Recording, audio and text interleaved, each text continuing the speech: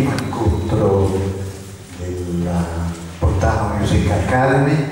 Questa sera abbiamo con noi un attore, un regista, un musicista, un presentatore, un cantante, ma soprattutto l'amico mio del cuore, Maurizio Casagrande.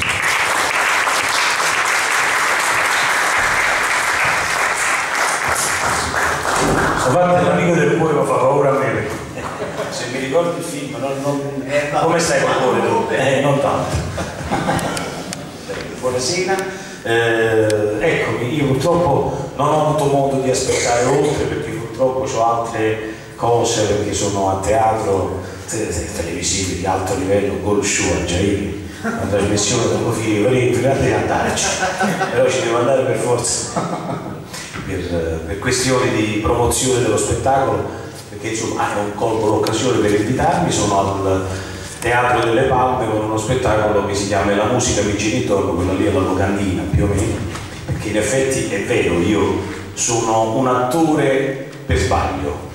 Io lo dico sempre, quando mi dicono la gente come devi fare, fare l'attore, non ci pensavo che succede, perché io tutto avrei fatto nella vita tranne l'attore, perlomeno fino a un certo punto della mia vita, e poi invece una serie di cose mi hanno portato a fare gli eventi e, quindi, e io invece nasco come musicista, quindi il mio luogo ideale era dietro alla batteria dove sono stato per... Dove dopo ci farai Sì, ma insomma, poi è meglio come ce l'ho perché non è più un batterista, quello è un ex batterista, però ho un passato da musicista vero. Adesso Olga se permetti ci dai, ce la puoi fare? Ci farà vedere trailer. Vediamoci un'altra. Sì. Questo è il file, ecco, video internet, selezione regionale il controllo internet. Direi di salire. Sì. Perfetto. Ecco, bene. Abbiamo provato varie volte. È una magnifica storia. La vuoi sentire? 50 anni, immaturo, affidabile, non ti ho mai fatto sentire importante, ti ricorda? Tu te lo ricordi che io sono tuo padre, sì? E non c'era bisogno, perché rimango qui. Ma che onore che sorpresa! Annalisa nel mio ufficio. No,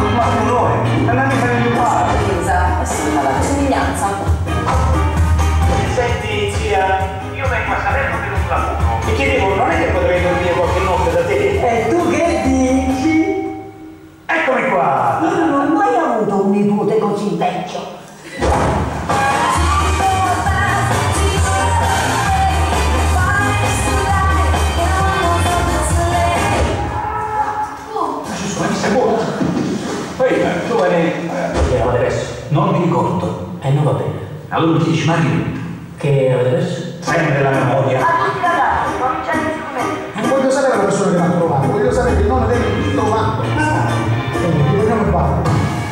Olin!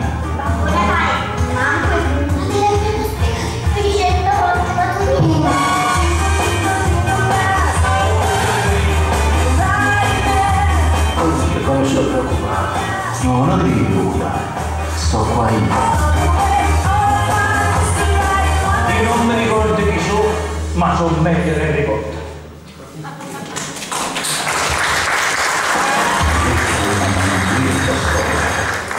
Una volta può passare. No, ho imparato, quindi... Eh, oh, Federico, Eh, può passare una volta, grazie. Allora, mh, ti volevo chiedere subito una domanda a bruciapelo, anche perché è un piacevole ritorno che Maurizio è stato già qui da noi ospite Tempo fa. Tempo fa e ci hai presentato l'altro tuo film che era Una donna per la vita ed era anche quel film attore e regista. Quest'altro film è anche stato sia attore che regista. La domanda è semplice, quale dei due film è stato più difficile per te girare e soprattutto poi adesso quale sei più affezionato, anche se chiaramente l'ultimo è quello più fresco, però che differenze ci sono state tra il primo e questo film qua? Allora, il primo film, eh, Una donna per la vita, è un film più complesso. Io non so se ne avete visto uno, tutti e due, se ne avete visto nessuno dei due.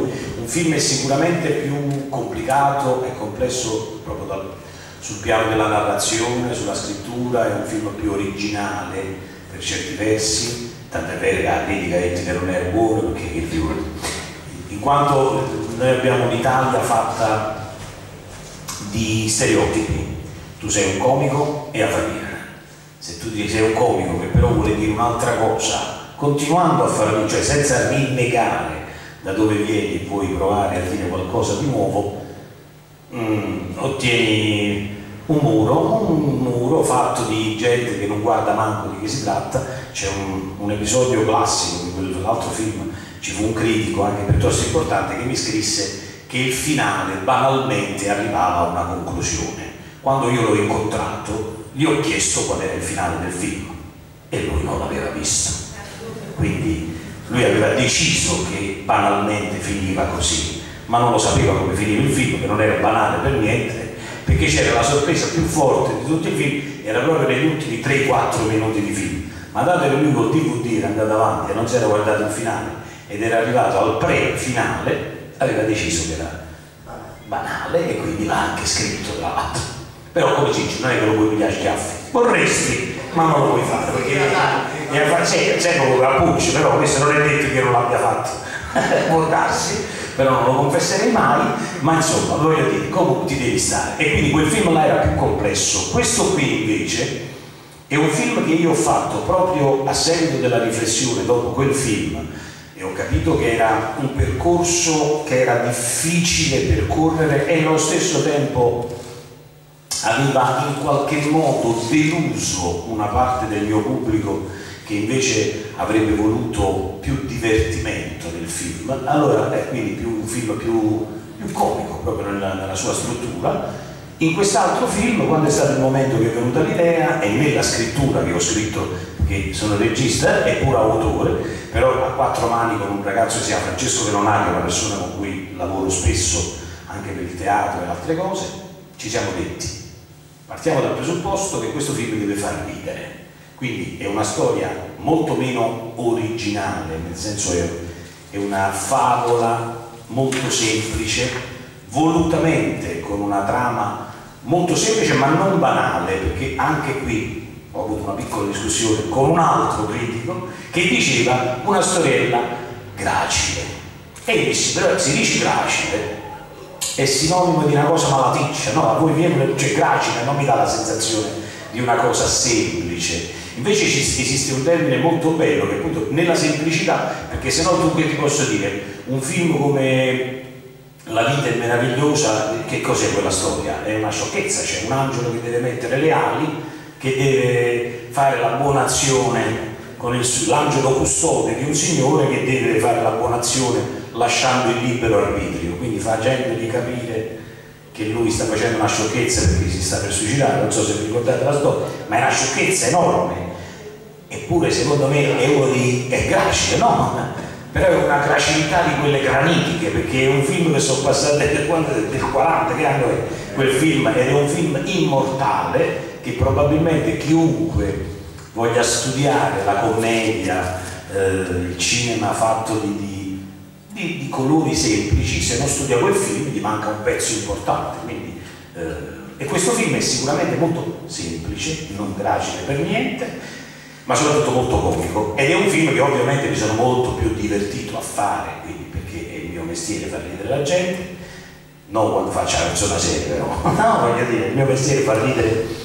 Perché mi piace sapere che ci sono delle persone c'era una, una signora non so bene insomma sulla mia pagina che ha scritto un commento bellissimo che io poi ho, ho ripubblicato perché mi sembrava bellissimo e, e scriveva che era impagabile l'emozione che aveva provato a vedere i suoi figli piccolini ridere a crepapelle e lei si godeva il divertimento dei, film, dei figli, ma diceva ridevo anch'io però. Quindi vedere due generazioni così lontane che riescono a ridere per lo stesso film significa che comunque hai fatto un buon lavoro. Ecco. E quindi è un film a cui sono molto e che probabilmente apre un filone, insomma, mi piace questo genere. Voglio fu uomo. Bene, un'altra domanda che si aggancia a questa um, cosa è eh, questa. Come fa l'attore Maurizio Casagrande a acquistare la credibilità di regista nei confronti degli altri attori? nasci, vabbè, nasci con varie la musica, la batteria, eccetera, però sei più noto come attore, quindi nell'atto del dirigere un altro attore, anche se mi aggancio con, io speriamo che nella cava l'hai fatto in teatro, quindi tu hai diretto anche dei bambini, anche in questo film ci sono tanti bambini, forse è più facile dirigere i bambini che un collega attore o attrice, oppure no? Secondo me il meccanismo è lo stesso. Con gli attori io, voi dovete sapere che il nostro mestiere è fatto di mode. La moda di Maurizio Casagrande è che è un attore molto serio e molto bravo. No, no, ma lo dicono, molti non sanno neanche chi sono, però lo dicono. Questo è mestiere fatto così, cioè la voce che gira nel mio ambiente è che io sono un attore di grande qualità che fa il comico ma che ha una grande tecnica, grande capacità alle spalle, quindi tutti quelli che mi si avvicinano, mi si avvicinano dicendo vabbè che questo è bravo, però casomai però non hanno mai visto nulla alcuni di loro, perché non è che è necessario, quindi questo è un mestiere fatto di mode, voglio dire, di, di correnti, e quindi seguendo questa corrente con gli adulti è molto facile perché mi si avvicinano eh, con, sapendo che impareranno qualcosa o perlomeno credendolo. Ecco. Esatto, perché mi dicono è bravo e quindi sa delle cose, ma vado da lui e imparo. In realtà poi di fatto gli attori, soprattutto quelli un po' più importanti, sono molto rigidi, quindi è molto difficile rompere il giocattolo e invece i bambini ti insegnano esattamente come fare. Perché se tu accendi la luce del divertimento, ma per divertimento io non intendo il fatto di far ridere o far... Eh, gli americani gli inglesi in generale chiamano questo mestiere, quando dicono si recita, dicono giocare, no? usano play, non usano un termine così certe volte drammatico come recitare, che sembra che sia fusce, fa finta di essere nata perché poi è esattamente quello che tutti noi abbiamo fatto quando eravamo bambini, cioè far finta di essere qualcosa. A me piaceva un cane. Mi dicono che volevo il cane, non me lo compravano o non lo vendevano per strada, insomma un cagnolino, e gli facevo io un cane.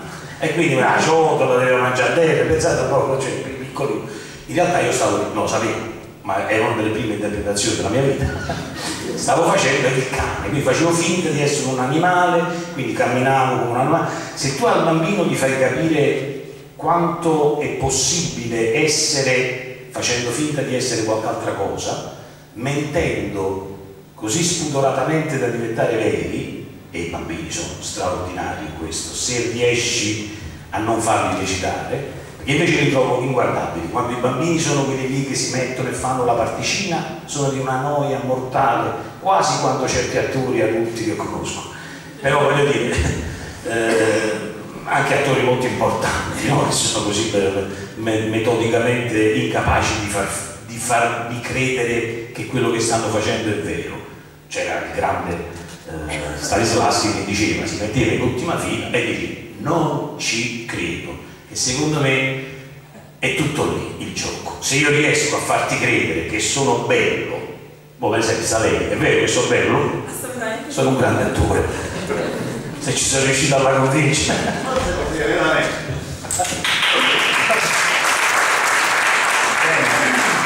Visto che il tempo a nostra disposizione è poco, ti faccio una domanda ultima prima di passare la palla al mio direttore. Una curiosità, è un po', credo, ritengo, che non ti si vede in tv. Ricordo la fiction con i carabinieri, l'ultima mi sembra è quella che hai girato con proietti. È una scelta oppure non ti stanno proponendo nulla di valido hai deciso tu di non fare il tv?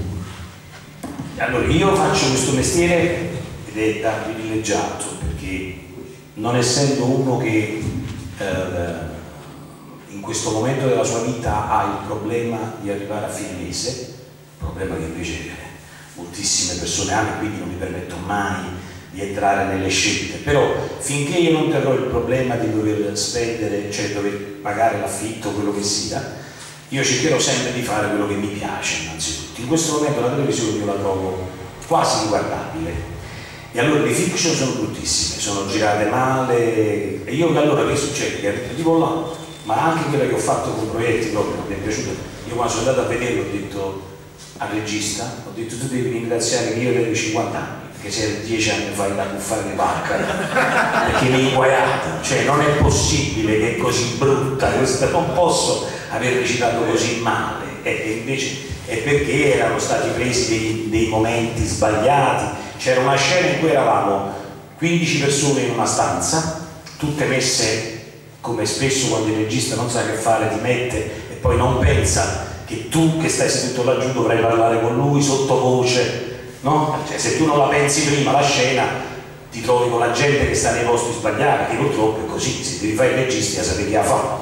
Invece lui non lo sapeva, perché in televisione bisogna prima conoscere delle persone e poi imparare a fare delle cose e quindi lui stava lì e io mi sono trovato in una situazione drammatica in cui c'ero a un certo punto un'inquadratura, io là mi sono alzato e me ne sono andato, stavo io al bordo fotogramma, io ho visto solo la prima, la seconda non ho avuto il coraggio, cioè avevo questa eh, mezza faccia fuori campo, ma la cosa più bella è che si sentiva la mia voce che diceva una cosa prima, poi staccava su di me che stava chiudendo la bocca, cioè avevo finito di parlare, e, rispondevo un altro che non c'era nell'inquadratura. Per cui io, che sono io, non capivo chi aveva parlato, io. E immaginavo la gente che stava vedendo la cosa mentre faceva la pasta, veramente, ma che è questa cosa? Non aveva capito niente. Allora, in questo incubo, io ho detto, ma perché io devo fare questo mestiere così bello e così inutile? Perché a che serve l'attore se fai una cosa brutta? E allora dico non lo faccio, per cui mi arrivano delle proposte che non mi piacciono e per ora dico no. Poi se mi volete fare una cosa brutta, sappiate, ma già l'avevamo affitto. È arrivato uno. Bene, passo la palla. No, no, stai, stai a Francesco che continuerà a intervistare. No, a interrogarmi. Più che altro fare una, una chiacchierata da, da musicista. No, io guarda, volevo un po' affrontare il discorso ovviamente musicale dello spettacolo che stai portando a delle palme che si chiama La musica mi gira intorno.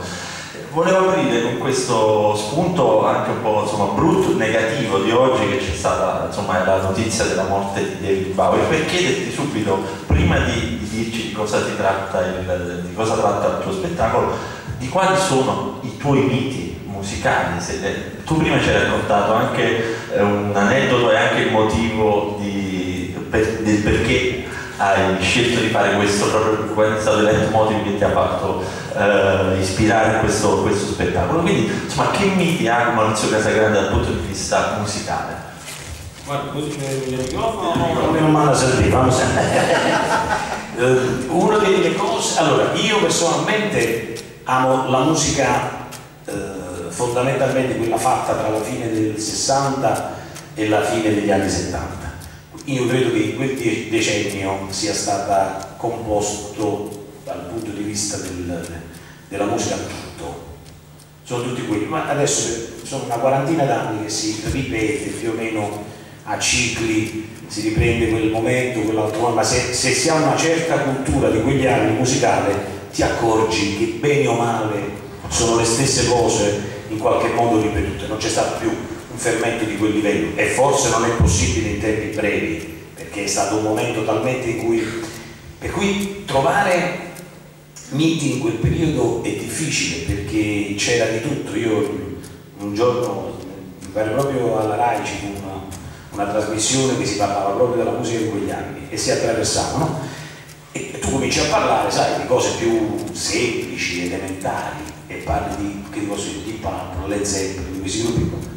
E tu vedi che erano quattro ragazzini, perché poi 24, 25 anni, ma c'avevano una preparazione musicale mostruosa, perché in tre, quattro persone suonavano che senza basi, ma ci sono midi, sequenze, eh, ci sono tutta una serie di aiuti quando suoni dal vivo, che all'epoca non c'erano, e tu senti delle esibizioni live e tu dici, ma non è possibile che non sono qua, ci sta qualcuno nascosto sotto qua, cioè un'altra parte c'è altra gente che sta dando una mano, invece quelli erano quattro, eh, chi si faceva il canna, chi si faceva eroina, evidentemente faceva bene, io faccio dice, non lo so, perché anche dal punto di vista eh, di come stavano combinati, non, non, doveva essere possibile così, perché ci vuole la disciplina, ci vuole metodo, invece questi erano scalmanati totali, evidentemente c'è stato un momento in cui il dio della musica ha fatto così sulla testa di questa gente e hanno suonato, per cui c'è di tutto, e batteristi, e io sono un ex batterista, c'era appunto gente come Jeff Porcaro, che poi è morto, pare che dicono per, per la cosa di, di un'allergia. Eh, ho dubbi sul fatto che fosse un'allergia.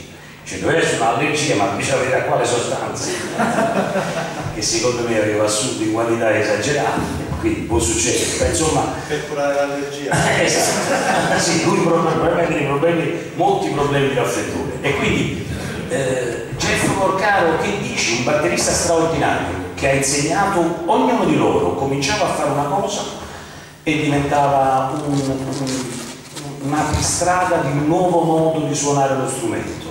Jacopo Pastorius prende il basso in mano e rivoluziona il modo di suonarlo facendolo diventare uno strumento melodico in alcuni casi, cosa che non era mai stata neanche ipotizzata nella musica rock. Quindi, insomma, quali sono i miti di quegli anni?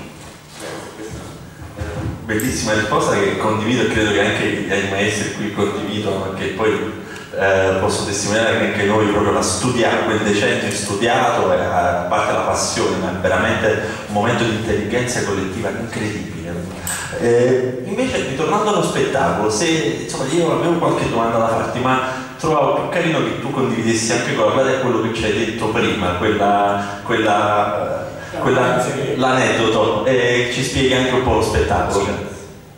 Lo spettacolo è un, un percorso fatto nella musica proprio però la musica è assolutamente il sottofondo dello spettacolo. Io penso che la musica sia un'infezione, che se la prendi non esiste un modo per curarti, quindi se entra dentro di te la musica non esce più.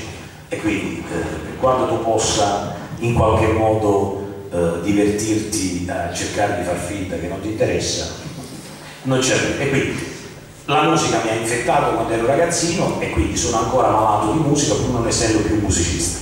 Di fatto c'è però che c'erano degli echi che rimanevano, allora in una notte insonne in cui a casa non riuscivo a dormire, avevo voglia di, di mettermi a fare delle cose che mi capita spesso, eh, mi metto al computer a cercare ispirazioni e non mi veniva niente, eh, capita delle serate che non hai le ispirazioni. E allora comincio a dire fammi vedere che e comincio a vedere i vari musicisti dei vari anni, quelli che mi piacevano, e proprio Jeff Porcaro mi viene in mente un brano, dovete sapere che c'è una canzone che si chiama Rosena dei Toto, non so se la conoscete qualcuno di voi, bellissima canzone, che aveva un, um, un gruppo di batteria, un ritmo fatto con la batteria molto particolare, che i miei colleghi e io, quindi gente molto più brava di me, credo che ci fossero in mezzo gente come Gorino, come questi qua, in quel periodo, che erano i miei quasi coetanei, era un po' più grande di me lui, ma insomma, che cercavamo di capire questo signore che faceva, perché suonava questo pezzo e c'era sotto una cosa particolare che non tanto si capiva.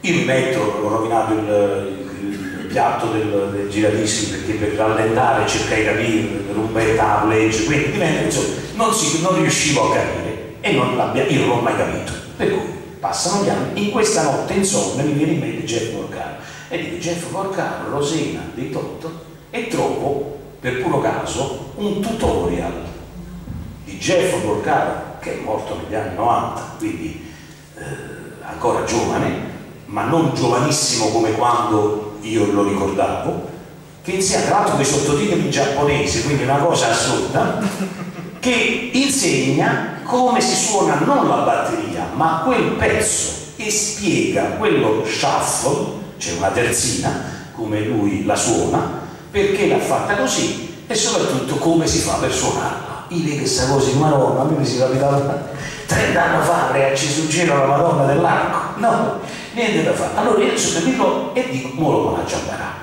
Mi sono messo lì e ovviamente male, ma ho imparato a suonarlo. Quando sono riuscito a suonare, e mo che faccio? Cioè, cioè mi sventando per non una stupidezza e mi sono inventate la musica gira intorno per suonare questa cosa dal vivo con il pubblico.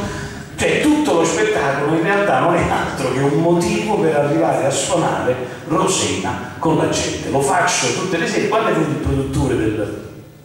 dato che nello spettacolo, oltre ad attraversare la musica come fatto di memoria, come fatto di racconto, ma lo faccio anche come genere, quindi io comincio con gli anni 50 in cui si descrive la storia di... Ma questa è la batteria o cosa io con io? Penso sì. E che devo fare? Niente. Dicevo gli anni 50 attraverso la musica dell'incontro tra mia madre e mio padre e quindi musica anni 50. Poi gli anni 60 invece sono gli anni della mia infanzia e allora c'è una musica più demenziale, più infantile, sono i brani degli anni 60 che tutti gli anni. Gli anni 70 invece sono gli anni della mia musica e quindi invece di recitare per 9 minuti suono la batteria nello spettacolo, grande sorpresa per il pubblico, ma mentre faccio piccoli accenni di tanti brani, salute, faccio piccoli accenni di tanti brani, quando arrivo Rosena la faccio qua tutta qua. Allora il produttore viene e fece, ah Maurizio, ma non è un po' troppo lungo rispetto agli altri? Cioè, no. Allora non hanno capito. Ti hanno fatto solo per fare questo te la viene lunga. Se lei di questa hanno lavato il spettacolo la mia, quindi state zitti e va bene così. Ecco.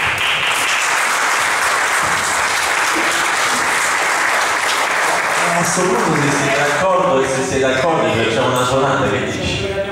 Facciamo, ci siamo visti dieci minuti prima è proprio una cosa importante ma Maurizio non è, non è un musicista scarso è un musicista siamo testimoni suona eh lo dico da musicista. Vedete se suona è? Uno puro poi devi fare lo secco scusate ecco per l'occasione canterà il nostro maestro di chitarra Gianluca Capurro, voce e chitarra al basso del nostro maestro di basso Arianza. E al piano ci sarò io, anzi all'organo perché siamo nel 69 al 79 in, quella, in quel decennio. Esatto, siamo nel 70 ci invergiamo, questo è proprio 72 l'anno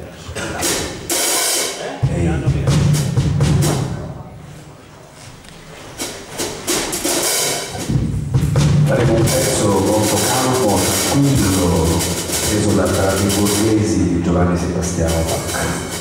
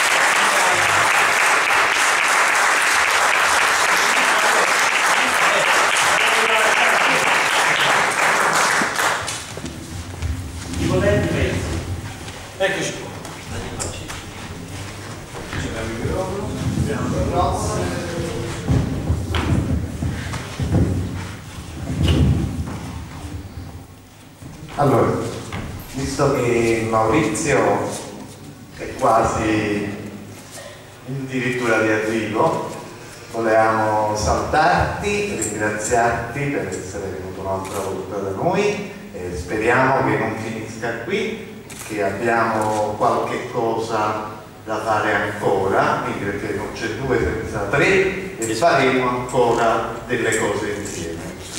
Però chiamiamo un attimo Olga che ci porta una cosa, visto che siamo campioni d'inverno, abbiamo pensato di Cosminski adeguata, personalizzata, Personalizzata. no? Direi, Eh, allora chi suona? direi.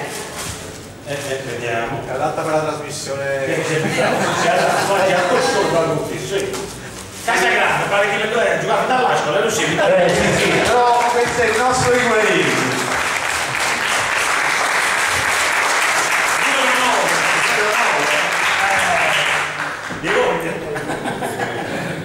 Grazie, che cosa dire? Grazie mille. e Io poi tra l'altro questa sera devo andare a Show, quindi io mi auguro che siate tutti tifosi del Napoli.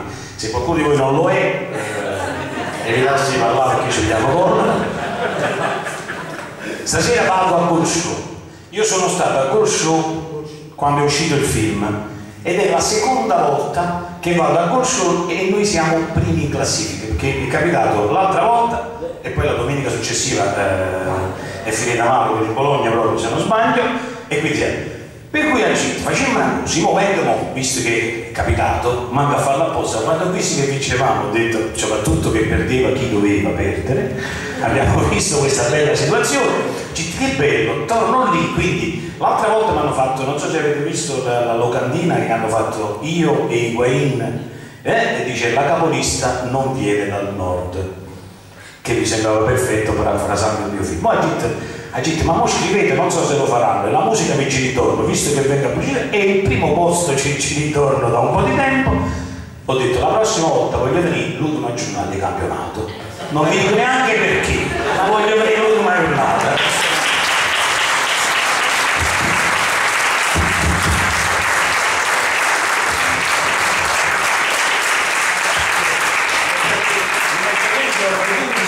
Signorina perché si faccia una libertà solamente loro.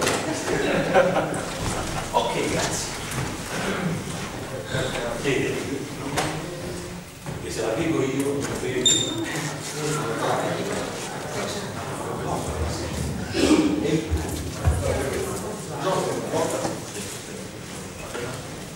Va bene, c'è questa frequenza, ma giusto per salutarci e darci appuntamento a... Ci sei? C'è, ok. Insomma, vi vogliamo salutare e ringraziare per, eh, per vostra- per il vostro affetto. L- queste iniziative eh, continueranno, saranno sempre più numerose, speriamo di eh, creare anche noi un po' di quell'intelligenza collettiva che- a cui faceva riferimento Maurizio, cioè creare una cellula di persone che eh, mangino arte, condividano arte con la speranza che qualcosa si possa riaccendere. Grazie, grazie a tutti.